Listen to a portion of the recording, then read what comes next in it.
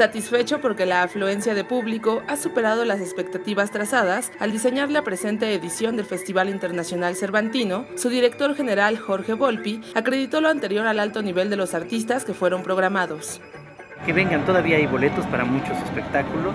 Eh, están aquí algunos de los mejores artistas de México y del mundo, en una ciudad prodigiosa, una gran afluencia. Creo que el nivel de los eventos en general ha sido muy alto. El ciclo Beethoven con el Emerson y el American ha sido realmente prodigioso. Cervantina fue un espectáculo maravilloso. Vienen todavía dos óperas muy interesantes, la de Rossel y la de Guamortier, basadas en el Quijote. Viene todavía el Ballet Nacional de Holanda, que es una de las mejores compañías del planeta. Viene todavía Christoph Martala, que es uno de los grandes, grandes del teatro del mundo.